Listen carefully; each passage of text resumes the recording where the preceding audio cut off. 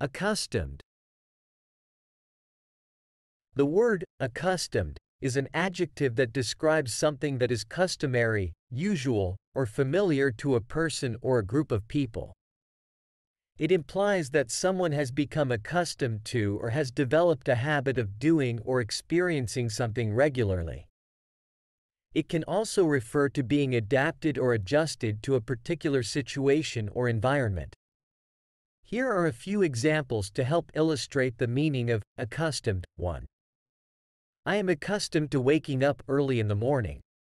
This means that the person is used to or has developed a habit of waking up early every day.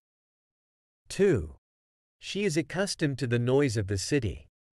This implies that the person has become familiar with or has adapted to the regular noise in the urban environment. 3. They are not accustomed to such hot weather.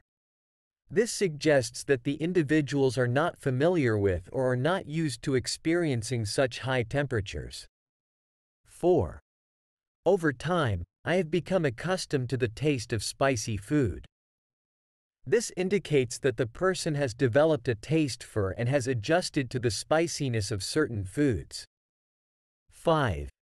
The children were accustomed to receiving a reward for completing their chores.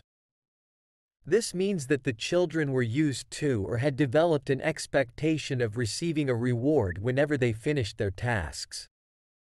In summary, accustomed describes something that is customary, familiar, or habitual to someone. It implies that someone has become accustomed to or has developed a habit of doing or experiencing something regularly.